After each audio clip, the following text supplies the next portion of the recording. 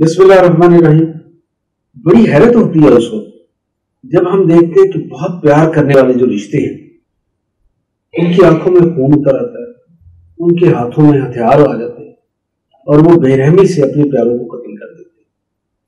हमारे इर्द गिर्द, ये पिछले चंद दिनों में ऐसे वाकयात हुए।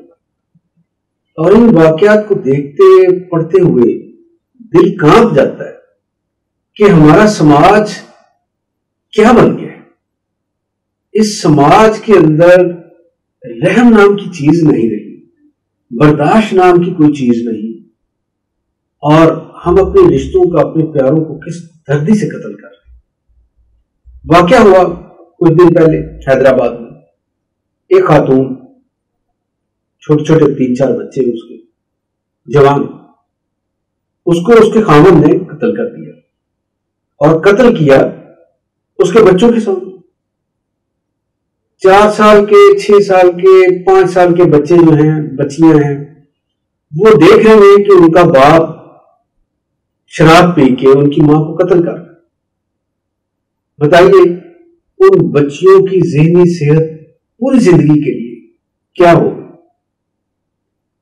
इस कत्ल के जब तहकीक की गई, तफ्तीश की गई तो पता चला कि वही मामला मुतालबात पैसे लाने के, कुछ अपनी जो बदअमली है उसको छुपाने की कोशिश।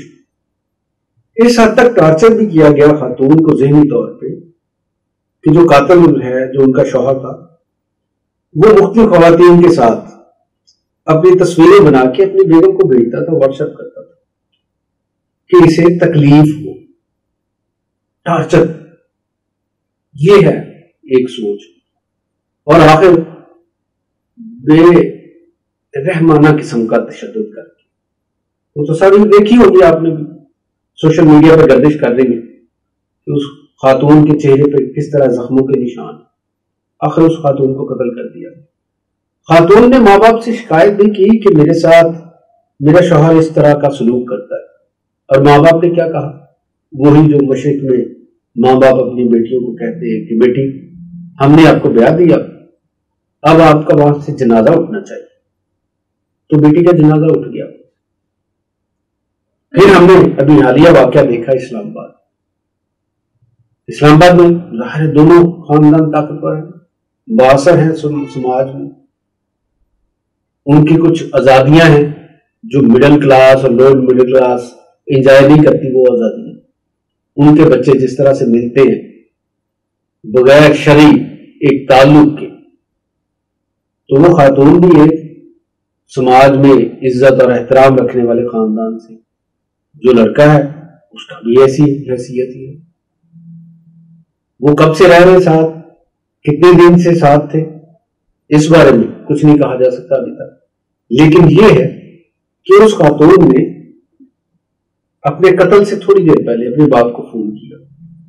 उसने क्या कहा? कि बाबा हम फला शहर जा रहे हैं, लाहौर का ज़िक्र। ईद से एक दिन पहले की बात, कि हम लाहौर जा रहे हैं अब बाप का ये फ़र्ज़ बनता था कि पूछता कि बेटी, आप किसके साथ जा रही है? क्यों जा रही है ईद से पहले? ईद तो घर वालों के साथ मनाई तो हमने कई जगह पे अपनी जिम्मेदारियों से सरफ नज़र किया। अपनी जिम्मेदारियाँ समझा नहीं औलाद हम अपने समाज की अभी तक बुद्ध से वाकिफ नहीं है। तो क्या हुआ उस बेटी को, उसके दोस्त ने? पहले तशद किया, कत्ल किया, और कत्ल के बाद उसका सर धड़ से अलग कर दिया। तस्वर कीजिए कि वो सफाकियत के किस दर्जे पे था। उसके अंदर वैश्य किस दर्जे पे, किस सतह पे होगी? कि उसने एक अपने सबक दोस्त को कत्ल किया और उसकी गर्दन उतार दी। अब यह वाक्य तहकीकती इदारों, तफ्तीशी एजेंसियों और पुलिस के माबैन चल रहा है। दोनों खानदान इस पे अपना अपना ज़ोर लगा रहे हैं समाजी। वो एजेंसियों के, तफ्तीशी इदारों के भी हाथ मरोड़ेंगे और अपनी बात सच साबित करने के लिए झूठ का भी सहारा लेंगे, कहानियाँ भी बनाई जाएँगी। लेकिन असल कहानी यह है कि एक जवान साल खातून कत्ल हो गई बेरहमी से।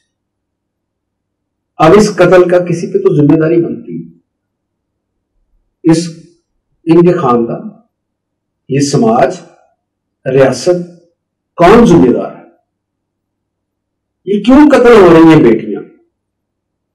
क्या हम उनकी तरबियत नहीं कर पा रहे। हम उन्हें बता नहीं पा रहे कि हमारी अकदार क्या है। और सिर्फ़ बेटियाँ ही क्यों? वो जो कत्ल करने वाले बेटे हैं, उनकी तरबियत माए क्यों नहीं करती? बाप क्यों नहीं करते? हमने अपनी जनरेशन को छोड़ दिया है कि वो घर से बाहर जाए और जो मर्ज़ी सीख के आ जाए, जो मर्ज़ी बन के आ जाए। वो बाहर से डाकू बन के आ रहा है, वो कातिल बन के आ रहा है, वो नशा इस्तेमाल करने वाला बन के आ रहा है, वो ब्लैकमेलर बन के आ रहा है, वो क्या बन के आ रहा है हमें पता ही नहीं चलता। हमने अपनी ज़िंदगी इतनी मसरूफ कर ली कि इस मसरूफियत में हम अपने बच्चों की जो शक्ल सूरत बन रही है, उससे वाकफ ही नहीं रहते और फिर सानहात जन्म देते हमें इस समाज को बदलने के लिए अपना किरदार अदा करना है। खामोशी से हम बैठ नहीं सकते। खामोशी से बैठेंगे तो ये बेरहमी और फैलेगी। क्या मजीद इस पर कुछ कहा जा सकता मेरा ख्याल ये काफ़ी आप भी कुछ कहने से पहले इस पर सोचिए कि आप इस पर क्या कर सकते हैं। और जो आप कर सकते हैं, मामूली सा काम। मामूली से कुछ लफ्ज हो।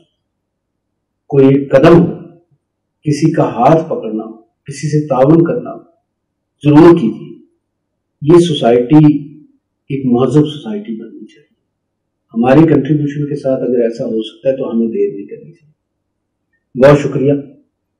जाते हुए याद दहानी कि सब्सक्रिप्शन का बटन ज़रूर प्रेस कर बहुत शुक्रिया।